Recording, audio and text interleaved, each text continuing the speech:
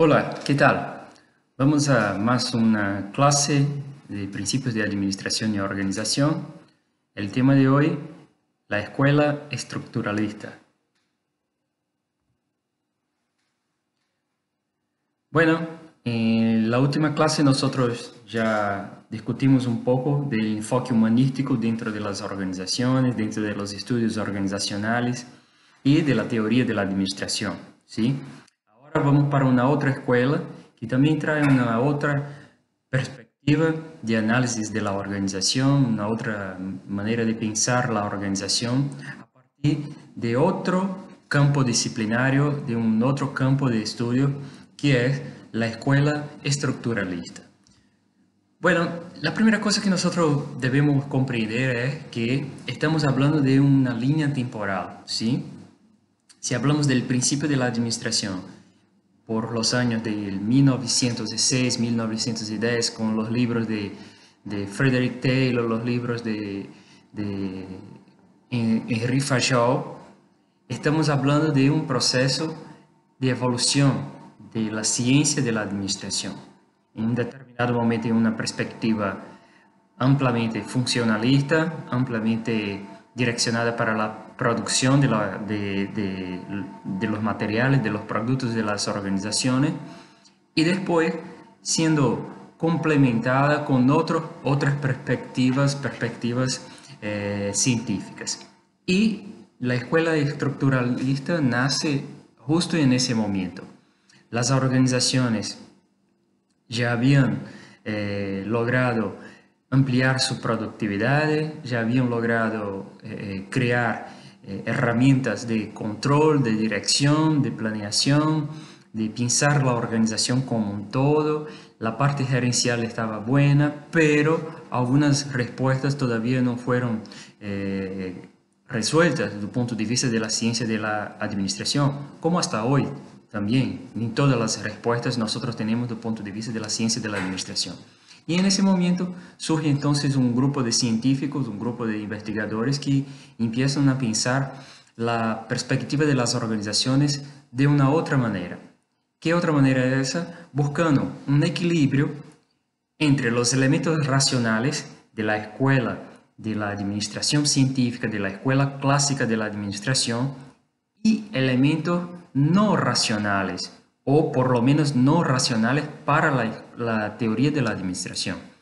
¿Qué, qué eh, eh, elementos son esos? Por ejemplo, el comportamiento humano, la vida de las personas en sociedad, la sociedad y otras categorías de problemas que hasta este momento no estaban ahí como problemas centrales de la escuela de la administración. Pero hablar de la escuela estructuralista y de este pensamiento dentro de la escuela de la administración hace necesario hacer un repaso general de algunos teóricos de la sociología, porque la escuela estructuralista está fuertemente basada en los estudios, estudios sociológicos de las organizaciones y los estudios sociológicos de una manera general. ¿Sí? En algunos libros ustedes van a encontrar, por ejemplo, el nombre de Max Weber como uno de los teóricos que aportaron para la administración y es considerado como un, teórico de la teoría clásica. Yo particularmente no comparto de esa idea. Primero porque Max Weber no escribió, no escribió ninguno de sus libros pensando en una teoría de la administración. Max Weber, como un, sociólogo con una línea de pensamiento de Europa muy contradictoria a la línea de pensamiento de Estados Unidos, estaba mucho más preocupado en comprender el fenómeno de las organizaciones. Eso es el primer punto. El segundo, que no estaba en el mismo tiempo de producción científica de los teóricos de la administración. Max Weber viene antes estudiando la sociedad y los cambios de la sociedad en función de la revolución industrial. Y el tercer punto, yo no puedo poner Max Weber como un teórico de la administración si su, su perspectiva de desarrollo y de trabajo nunca fue la administración, y sí la sociedad y las organizaciones que hacen parte de la sociedad. Pero los estructuralistas modernos, que después vinieron con un, enfoque de, eh, pensar la administración, pensar las organizaciones, tuvieron como base, por ejemplo, los, los escritos y, las teorías eh, generadas por Max Weber. Por eso traemos Max Weber como un, primero autor, como una primera fuente para comprendermos la escuela estructuralista. Bueno, ¿cuáles los aportes que los estructuralistas buscaron en la teoría de Max Weber? Max Weber, un graduado en Sociología, Ciencias Políticas y Economía, tiene como principales obras La ética protestante y el espíritu del capitalismo, Economía y Sociedad y la teoría de las organizaciones, la teoría de la organización socioeconómica. Perciban que el libro La teoría de la organización socioeconómica fue publicado después de su muerte, entonces no fue terminado por Max Weber. En esos tres libros, Max Weber estaba interesado en comprender algunos cambios que estaban eh, eh, cambiando toda la, estructura de la sociedad. La primera cosa, una de sus preocupaciones era entender y comprender qué era y qué fue, qué es una organización formal, en las maneras como estaban se constituyendo en ese espacio de tiempo de la sociedad. La segunda cosa, cuáles son los medios racionales para dirigir las actividades de muchas personas en diferentes posiciones con el fin de lograr un objetivo común. O sea, el objetivo de Max Weber es una perspectiva, una mirada de un sociólogo. Cómo las organizaciones logran gerenciar tantas personas con distintos objetivos y buscan ahí un objetivo común dentro de la organización. ¿Qué más? Preocupaciones de Max Weber. ¿Qué hacen las organizaciones para perpetuarse en los entornos en que ellas, ellas operan y que mantiene vivas las organizaciones incluso con la muerte de sus fundadores. O sea, Max Weber está interesado en discutir un poco de la estructura social de las organizaciones, cómo están estructuradas y cómo las organizaciones pueden sobrevivir a lo largo del tiempo, mismo con la muerte de sus dueños, mismo con la muerte de sus fundadores. Eso es la, esas son las preocupaciones de Max Weber con relación a las organizaciones. En su libro La ética protestante y el espíritu del capitalismo, Max Weber hace un análisis, por ejemplo, de cómo el capitalismo puede sobrevivir y crecer desde una perspectiva de la religión. Recuerden que en la Edad Media nosotros teníamos ahí la Iglesia Católica como la iglesia dominante eh, en el occidente, por lo menos, pero después de la reforma protestante hay un crecimiento de los protestantes en todo el mundo. Y el capitalismo encuentra entonces en ese espacio un espacio eh, eh, para crecer, un espacio con, trayendo una ventaja desde una mirada protestante en la cual la riqueza no estaba relacionada con el pecado, y sí como el fruto del trabajo del hombre. Entonces, Max Weber está analizando las organizaciones, la conformación de estas organizaciones en la sociedad y cómo los hombres, cómo las personas logran gerenciar las organizaciones y traer tantas personas para dentro de, de estas, de estas organizaciones y así con que puedan trabajar en un objetivo común que es el objetivo de atender las necesidades de la sociedad de los clientes. Recuerden de una frase que yo siempre, siempre estoy repitiendo las organizaciones son hechas por personas y para las personas, ¿sí? Entonces, eh, Max Weber crea una expresión muy conocida que nosotros repetimos muchas veces sin ni siquiera saber eh, qué significa verdaderamente, que es la burocracia, ¿sí? ¿Y qué trae entonces como la burocracia? La burocracia, en verdad, es una estructura social formal racionalmente organizada que implica en modelos de actividad claramente definidos en los que idealmente cada serie de acciones está vinculada con los objetivos de la organización.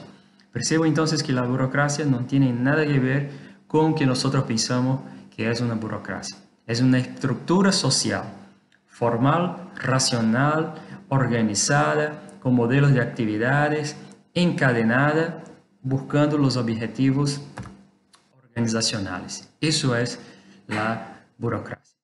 ¿Cuáles las características de ese tipo de organización? Bueno, Max Weber entonces formula ahí tres características. La primera característica es la formalidad. O sea, todas las burocracias tiene normas, reglas, patrones de comportamiento, están formalizadas. Hay una estructura formal para ese tipo de organización en la sociedad. La segunda característica, la impessoalidad. ¿Qué es eso? Las personas pierden sus identidades cuando hacen parte de una burocracia, de una organización. Porque más importante que las personas son los cargos y las funciones dentro de las organizaciones. Eso es un otro sentido de que las personas son simplemente ocupantes de puestos de trabajo, ¿sí?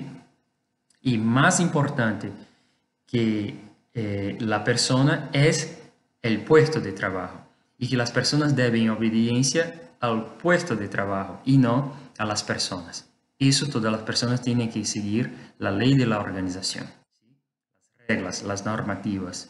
Y por fin, el último y, principal característica de este tipo de organización ideal es la profesionalidad. O sea, las burocracias son eh, hechas por personas, pero tienen como resultado atender a las necesidades de alguien o de un grupo de personas, de clientes. Y eso se hace con profesionalidad. O sea, las personas operando en sistemas encadenados para atender a las necesidades de otras personas. Bueno, entonces, ¿cómo sintetizamos, cómo hacemos un resumen de qué sería la burocracia? La burocracia entonces va a ser un sistema de normas escritas, procedimientos, eh, eh, eh, reglas dentro de la organización, responsabilidades definidas para cada persona, una jerarquía de autoridad especificada, o sea, yo tengo el jefe, yo tengo el subjefe, gerentes, personal operativo y todos tienen que obedecer a ese sistema y obviamente hay un sistema de selección y evaluación que premia con precisión a los empleados. Bueno, los puntos son muy interesantes porque percibimos que Max Weber está hablando de las mismas cosas que habló Fajal y que habló Taylor. O sea, la construcción de un modelo organizado, planificado, con jerarquías, con eh, cargos, puestos de trabajo. O sea, está hablando de una organización de las organizaciones. Una burocracia perfecta debería tener entonces estas características. ¿Cuál es la importancia de Max Weber para la administración y para la ciencia de la administración? En ese momento, nosotros vamos a tener ahí como gran importancia que Max Weber ya había pensado en las reglas, en las organizaciones y, pensado en los modelos de administrar antes mismo de una formulación de una teoría de la administración. Eso es el primer punto. Segundo, Max Weber mira las organizaciones como elementos sociales, no simplemente como eh, eh, un conjunto de personas aisladas de la sociedad. No, las organizaciones sufren influencia de la sociedad y también influencian el comportamiento de la sociedad. Y el tercer punto, las teorías de Max Weber eh, nos hacen eh, eh, verificar cómo las, las organizaciones y algunas organizaciones dieron importancia a ese sistema de reglas, ese sistema de procedimientos dentro de, de, sus actividades. Hoy, que nosotros conocemos como burocracia, en verdad son las disfunciones de la burocracia, o sea, son las cosas que eh, ampliamos en función de, de la burocracia. Por ejemplo, cuando vamos en una una organización pública y que tenemos ahí un exceso de papeles para llenar, para entregar y hablamos, no, qué burocracia. En verdad, hay un exceso de reglas, de procedimientos, de actividades, de todo eso dentro de una estructura organizacional. Pero una burocracia puede ser considerada como cualquier tipo de organización que tiene ese tipo de características como puntuó Max Weber. Una cosa muy importante que nosotros debemos poner en nuestra memoria, recordar siempre, es que Max Weber no es un teórico de la administración, porque muchas veces vamos a ver incluso autores cometiendo este error llamando a Max Weber de un autor de la administración. No, Max Weber es un sociólogo, un economista que estudió las organizaciones porque percibió la importancia de este por así decir, eh, dentro de la sociedad moderna con el proceso de revolución industrial y los cambios que la sociedad estaba pasando del siglo XIX para el siglo XX. Entonces, eso es la importancia de Max Weber para los estudios organizacionales y para la teoría del estructuralista. Bueno, pero no fue el único sociólogo que eh, eh, trajo contribuciones para la administración. Hay otros también, como por ejemplo Emile Durkheim, y con sus escritos que traen una discusión con respecto a la división del trabajo social, la solidaridad mecánica y la solidaridad orgánica. En la solidaridad eh, mecánica nosotros tenemos ahí las personas vinculadas de acuerdo con las familias, con los vínculos sociales que se han dado y la solidaridad orgánica relacionada por el sistema de recompensa que fue creado dentro de las organizaciones. Durkheim también trae para contribución, para aporte a la teoría de la administración, las cuestiones relacionadas al institucionalismo, destacando el papel eh, de los sistemas simbólicos, del sistema de conocimiento, de las creencias, de la autoridad, de, de las instituciones sociales, o sea, todo el ambiente envolvente de las organizaciones que trae un resultado muy significativo para pensar de la organización, no como un, un, aspecto aislado dentro de la sociedad, pero eh, conjecturado con, otros, con otras organizaciones y dentro de un, dentro de un sistema eh, institucionalizado. ¿sí? Eh, además, Emile Durkheim trae un concepto que es el concepto de hecho social, que eso va a ser muy importante para los estudios y la investigación, que es comprender todo el hecho, todas los, las actividades como pasibles de observación y de investigación científica. Durkheim eh, crea un modelo de pensamiento que nosotros llamamos de positivismo y que formula el positivismo en verdad porque ya, ya había eh, sido desarrollado el método, en lo cual percibe la importancia de las organizaciones y estudia la organización. Y dice, mira, si yo no puedo observar, yo no puedo mensurar, no puedo entonces hablar que esto es ciencia. Entonces, ese aporte es un aporte también valioso para los estudios organizacionales y todo, para toda teoría de la administración. Un otro nombre también muy conocido y importante también, y vamos a explicar las contribuciones de ellos también, el nombre de Carlos Marx.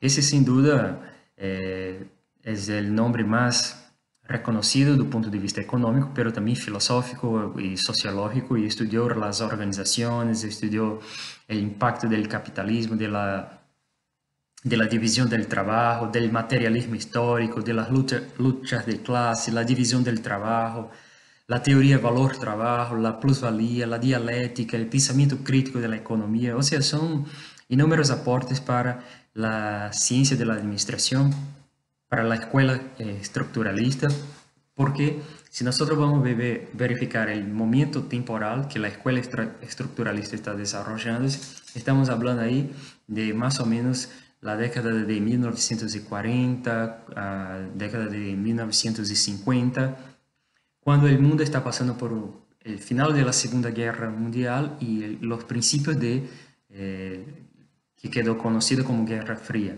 ¿sí? Y en ese momento había toda una fuerza de, de los gremios, de los sindicatos, una discusión con respecto a, la división del trabajo, al rol del operario, una mirada del operario no simplemente como una, una pieza de, de, de, la máquina de la organización, y los pensamientos y los aportes de Carlos Márquez fueron sin duda muy importantes para toda la discusión y también para unas mejoras el punto de vista de la actividad laboral.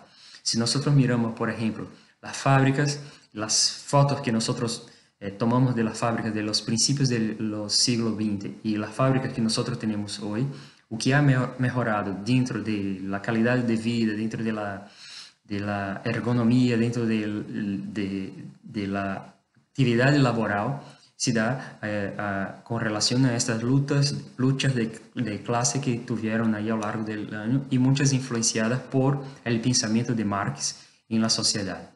Bueno, para nosotros de la administración, para la contribución.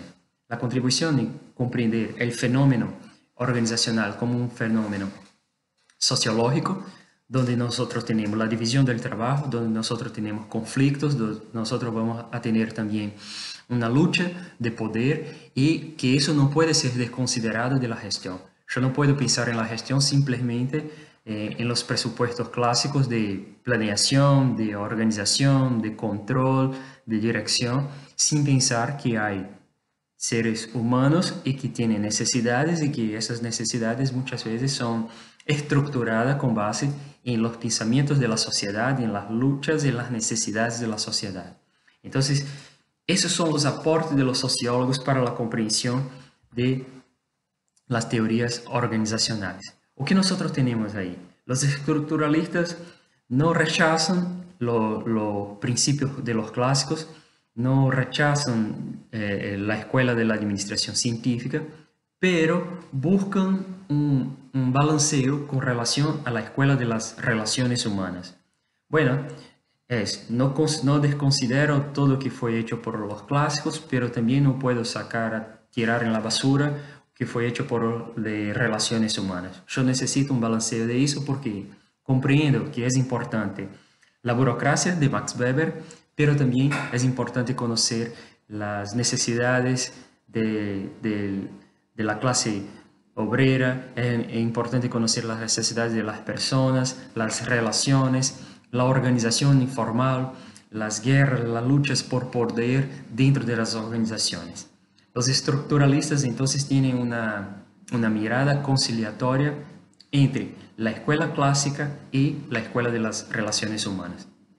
Y quizá esa sea la principal crítica de la escuela estructuralista, porque había un campo amplio para estudios de la sociología de las organizaciones, pero los estructuralistas eh, eligieron y, optaron, hicieron una opción por eh, buscar mucho más una conciliación con relación a esas dos teorías, la clásica y de las relaciones humanas.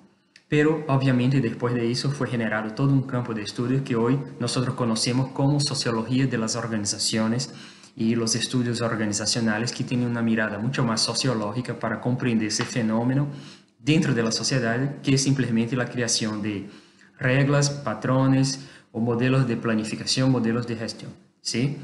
Bueno, los aportes de los estructuralistas entonces para nosotros. Primero, la organización y la comprensión de la organización, no simplemente como una organización hecha con objetivos eh, comerciales, pero organizaciones que son estructuradas a partir de un modelo social, ¿sí? donde la división del trabajo, las luchas de, las luchas de clase, el desempleo y todas las características de la sociedad van a ser transferidas también para las organizaciones. El segundo punto trae las características de las organizaciones. O sea, yo puedo ahí caracterizar distintas organizaciones de acuerdo con sus fines. Por ejemplo, yo puedo caracterizar una organización como misionera, que tiene un objetivo común, que tiene una mirada eh, sin fines de, ganancia, o una organización totalmente direccionada para la, la, obtener ganancia. ¿sí? Yo voy a percibir que ni todas las organizaciones tienen las mismas características y yo puedo hacer una definición por tipología, y eso se da a la percepción de los estructuralistas, que las estructuras organizacionales también van a ser definidas en relación a eso, a esas definiciones, a esas características, a las funciones de las organizaciones dentro de la sociedad, y a partir de ahí yo voy a diseñar la estructura de la organización. ¿sí? Otros aportes. Con relación a los procesos, yo tengo ahí entonces los procesos de comunicación y la importancia de la comunicación dentro de la organización y los conflictos también que son generados dentro de la organización. Cómo trabajar los conflictos dentro de la organización desde una perspectiva de negociación, comprensión del entorno interno de la organización, comprensión de las necesidades de la organización y de los individuos dentro de la, de la organización. Además, tenemos ahí como aportes también eh, la verificación de que las organizaciones no están aisladas y son, a un medio ambiente. Y yo debo considerar también la globalización, la modernización y la industrialización como factores estructurantes de las organizaciones, además de la institucionalización, de institucionalismo, como nosotros ya habíamos mencionado, como uno de los aportes de Emilio Durkheim. La interpretación de los estructuralistas es mucho más amplia do que la interpretación de los clásicos con relación entonces vamos a hablar ahora específicamente de algunos autores que son autores considerados como estructuralistas o neoestructuralistas. Y es importante para eso citarmos dos autores. Un considerado como un estructuralista, sí, o generador de todo ese movimiento estructuralista, y que escribió pensando en una formación de una teoría organizacional con base en, Carlos Márquez, en Emilio Durkheim, con base en, Max Weber, pero haciendo aportes para una nueva teoría llamada de sociología organizacional. Su nombre es Amitai Etzioni, un sociólogo muy conocido, reconocido en todo el mundo como el padre de la sociología organizacional, que trae para la lógica de, la, de, la organización una perspectiva integradora entre los clásicos y una perspectiva sociológica. Reconoce la importancia de la organización formal, pero a su vez detecta la importancia y la influencia de, los, de las organizaciones informales y de los grupos informales dentro de, la organización. ¿Qué es eso? ¿Recuerdan de, de, la Escuela de las Relaciones Humanas cuando hubo el, la, la, investigación de Hawthorne, como quedó conocido, los estudios de Hawthorne, que percibieron que había diálogo entre las personas, que había una conversación entre las personas y que eso moldaba el comportamiento de las personas con relación a sus actividades dentro de la empresa. A de Tizione desenvolve entonces la teoría de las organizaciones informales. ¿Qué son eso? Dentro de las organizaciones, dentro de toda la estructura que fue armada por el administrador, por el gestor de la organización, surge una otra estructura organizacional. ¿Qué es eso? una organización informal dentro, adentro de la organización formal, que puede tener características completamente distintas de la organización formal. Pensemos entonces en una estructura formal que probablemente ustedes ya deben conocer de la estructuración, del diseño de la organización. ¿sí? Yo tengo ahí arriba el presidente, yo tengo los gerentes, yo tengo los operarios, los obradores, todos que están ahí trabajando dentro de la estructura formal de la organización. Pero, a su vez, muchas veces hay dentro de esa estructura una persona que está en la línea de abajo de esa estructura que tiene más poder informal que el propio presidente de la organización, el director de la organización. ¿Qué es eso? Una estructura que fue creada dentro de la organización llamada de organización informal. Además, los grupos que son estructurados dentro de la propia organización. Por ejemplo, en un curso, en un grupo como de ustedes, de estudiantes, hay un grupo de estudiantes y hay un representante de curso que está dentro de una estructura formal, ¿sí? Pero a su vez, muchas veces hay un otro estudiante, una otra estudiante que desarrolla un liderazgo mucho más fuerte que el representante de curso y tiene una influencia en todo el grupo, en todo el curso y eso nosotros llamamos de un líder informal, porque no hay un cargo, no hay un puesto y tiene el poder con relación a los otros. Eso es la formación de los grupos informales, la formación de las autoridades informales dentro de la organización.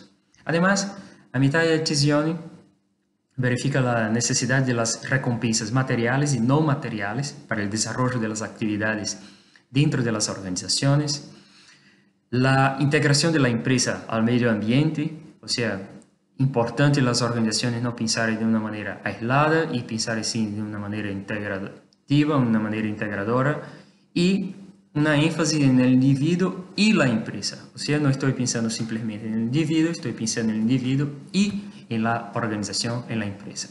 Un otro nombre muy, nombre muy importante para nosotros también es considerado como un neo eh, porque viene de un movimiento, después del movimiento generado por Almitai et Zione, con una otra perspectiva más amplia de la sociología de las organizaciones, pero uno de los nombres más influyentes de toda la teoría organizacional, es Garrett Morgan. Garrett Morgan trae una perspectiva para, más allá de, de pensar la organización simplemente como una empresa o como una organización social, pero pensar en una organización y en sus diferentes perspectivas a partir de su función social. ¿sí?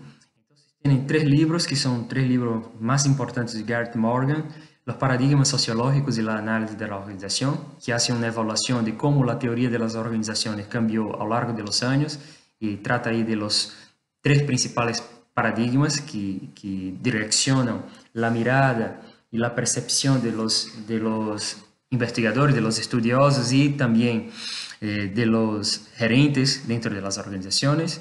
Después un otro libro llamado Más allá del método, que trae un poco de estrategias de investigación social, cómo investigar las organizaciones. Y por fin, su libro más conocido y más reconocido como de gran aporte para las teorías organizacionales que llama-se de Imágenes de la Organización. En ese libro, Garrett Morgan trae algunos, algunas metáforas que comparan las organizaciones a diferentes eh, eh, aspectos, diferente, en diferentes aspectos, de acuerdo con la percepción de las personas eh, con relación a las organizaciones.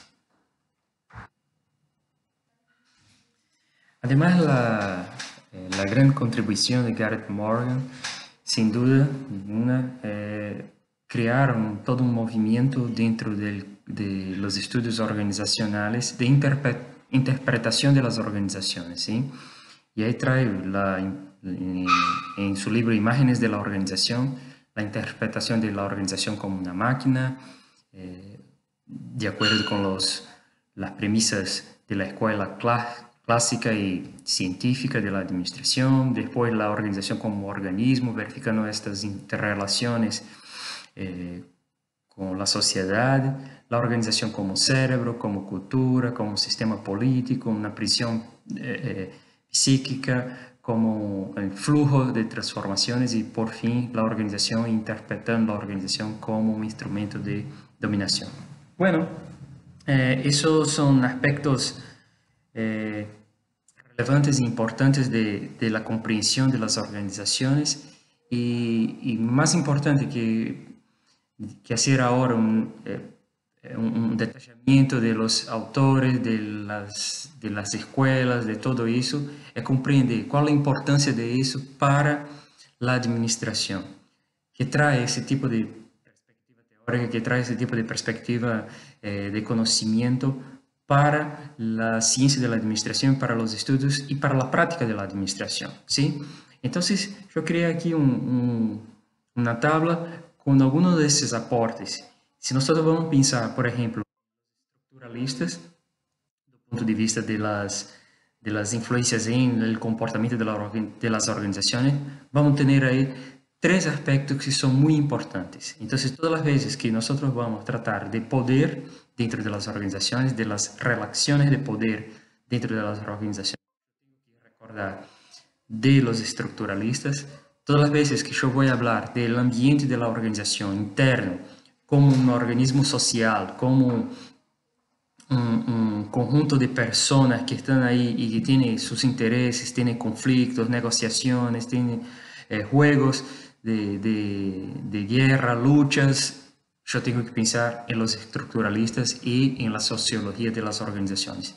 Y las estructuras que son armadas por las organizaciones no son simplemente diseños organizacionales que nosotros armamos los diseños y ahí creamos una estructura organizacional. No, las estructuras van a reflejar la división del trabajo, la división del poder, la centralización, la, participación o no de las personas dentro de este tipo de organización. Entonces, yo tengo del poder pensar en los conflictos, en la negociación y la comunicación. Todas las herramientas, todas las estrategias con base en eso. del ambiente de las organizaciones. Yo tengo que recordar de los ritos, mitos y patrones. Que eso es verdad, es mucho más eh, explotado en las teorías de desarrollo organizacional, pero hacen parte de todo ese movimiento de la sociología de las organizaciones. Y por fin, cuando nosotros hablamos de estructuras, estamos hablando de la división del trabajo, estamos hablando de las relaciones de poder, de la relación social y de los procesos dentro de las organizaciones. Haciendo un, repaso general, un resumen, ¿cuál es la importancia de la escuela estructuralista para la administración? Trae una otra mirada, una otra perspectiva de análisis de las organizaciones. ¿sí? Si el objeto de la administración son las organizaciones, no simplemente un conjunto de herramientas para la administración, y si la organización como un todo y su importancia para la sociedad, la importancia para las personas y toda eh, la estructura social que nosotros tenemos hoy, que es moldada, que es creada, que es eh, estructurada con base en las organizaciones, yo tengo que comprender ese fenómeno a partir de distintas perspectivas. Por eso la ciencia de la administración es una ciencia multidisciplinaria y el campo eh, científico de la trae un aporte eh, duda muy importante para comprender las organizaciones. Bueno, cerrando eso, eh, el cierre siempre yo en la administración, ¿qué debo pensar con respecto a los estructuralistas, la escuela estructuralista y la administración? La primera cosa, recuerden, la administración no es simplemente una caja de herramientas y de técnicas para eh, el management, para, para la administración. Las organizaciones son hechas por personas y sirven a personas y están en la sociedad y tienen una gran influencia dentro de la sociedad. Tercero punto, dentro de las organizaciones son, hay otras organizaciones que no están formalizadas por manuales, procedimientos, por flujos, pero son las organizaciones informales y que muchas veces tienen un poder mucho más grande do que las estructuras formales. Yo en la administración como administrador tengo que reconocer eso y tengo que trabajar en función de disminuir los conflictos organizacionales, hacer la negociación, hacer con que haya, un flujo de informaciones y de comunicación que permita al, tomador de decisión tomar las mejores decisiones con base en las necesidades humanas y obviamente las necesidades organizacionales. La búsqueda por el equilibrio, el balanceo entre los indicadores de performance organizacional, la productividad, la efectividad, la eficiencia, la eficacia, todo eso debe tener en cuenta también eh, las personas, las relaciones que son constituidas ahí dentro de las personas y sus deseos con relación a las organizaciones. No puedo pensar en una organización que va a atender a todos los, los deseos, los mandos de un dirigente que simplemente está pensando en, en los indicadores financieros. No es eso, la organización es mucho más amplia que simplemente números, tablas y flujos financieros. Bueno, eso es eh, la definición de la escuela estructuralista. Espero que hayan gustado y nos vemos en la próxima clase. Chao.